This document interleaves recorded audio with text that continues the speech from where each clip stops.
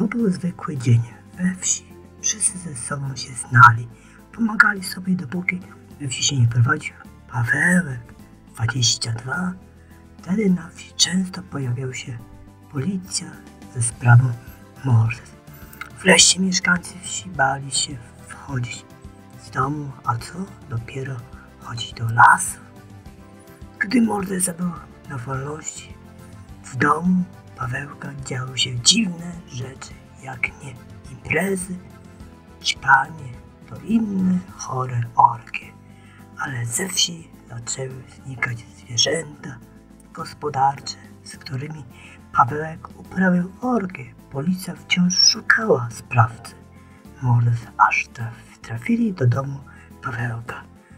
Tam znaleźli ciało i zgwałcone przez niego zwierzęta. Został zabrany do szpitala psychiatrycznego, z którego zwiął po 14 dniach. Poszukiwań znowu go złapali, ale tym razem stanął przed sądem i sąd zdecydował, aby skazać go na karę śmierci za popełnione przestępstwa.